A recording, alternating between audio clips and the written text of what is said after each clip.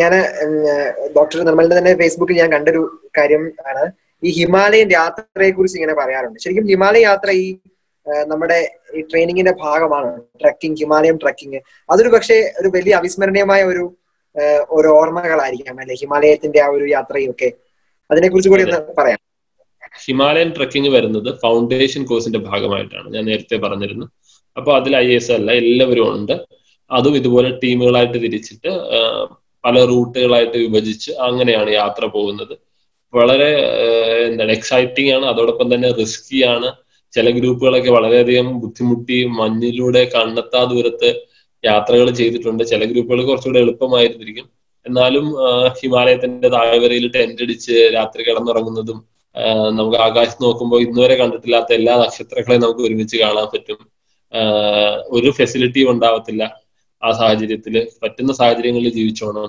കനത്ത ദൂരത്തുള്ള മലകളിലൊക്കെ കയറി ഇറങ്ങുകയാണ്. അപ്പോൾ നമ്മുടെ സുരക്ഷ ഒരു പ്രശ്നമാണ്. എല്ലാം നമ്മൾ വളരെ ഭദ്രതയോടെ കൈകാര്യം ചെയ്യാനും ഒരുപക്ഷെ പിന്നീട് എന്തെങ്കിലും ജീവിതത്തിൽ പ്രതിസന്ധികളൊക്കെ വരുമ്പോഴത്തേക്ക് ഇത് നമുക്ക് എന്താ പറഞ്ഞ ഇതിനപ്പുറം ഞാൻ ചാടിക്കടന്നതാണ് എന്ന് പറയാൻ വേണ്ടി പറ്റുന്ന ഒരു കോൺഫിഡൻസ് ഒക്കെ തോന്നും. കാര്യം ഇന്നൊക്കെ ഇപ്പൊ തിരിഞ്ഞു നോക്കുമ്പോഴത്തേക്കും ഒരു ചില മലയൊക്കെ നമ്മൾ കയറുമ്പോൾ ഒന്ന് കാലിടറിയാണെങ്കിൽ നമ്മൾ ചിലപ്പോൾ വീണു പോകുന്ന അത്രയും എന്താ പറയുക ദുർഘടമായ യാത്രകളൊക്കെ ആയിരുന്നു. അതും ഏറ്റവും ശ്രദ്ധേയമായ കാര്യം എന്ന് പറഞ്ഞാൽ നമുക്കറിയാം പി എച്ച് കാറ്റഗറി പെട്ടിട്ടുള്ള ആളുകളും നമ്മളുടെ കൂടെ വരുന്നുണ്ട്.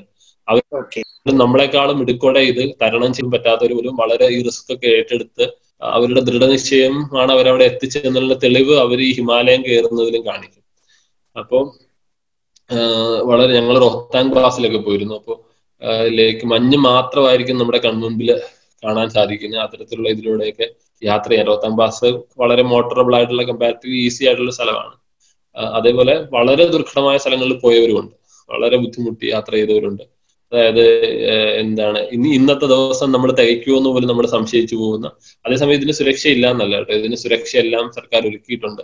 അക്കാഡമി തന്നെ ഒരുക്കിയിട്ടുണ്ട്. നമുക്ക് ഏത് സമയവും നമ്മളെ എയർലിഫ്റ്റ് ചെയ്യാൻ വേണ്ടി ഉള്ള ഫെസിലിറ്റീസ് അതായത് ഹെലികോപ്റ്ററിൽ നമ്മളെ ഏത് സമയം എയർലിഫ്റ്റ് ചെയ്യാനുള്ള ഒരു സെക്യൂരിറ്റി മെഷർ കൂടെ എടുത്തുകൊണ്ടാണ് അക്കാഡമി ഇതൊക്കെ ചെയ്തിരിക്കുന്നത്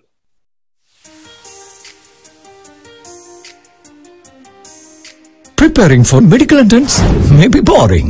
Exams may cause pressure and fear. Problems may be confusing.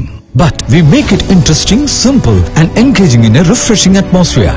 We welcome you to Christ College Medical Entrance Coaching Center in Alapi. Courses offered. Repeaters batch 4 NEET exams. Crash course after plus 2 exams at Komadi campus. Tuition plus entrance for plus 1 and plus 2. Even students with 60% in plus 2 were able to crack entrance exam through our special care. Christ College Medical Entrance Coaching, Alapura.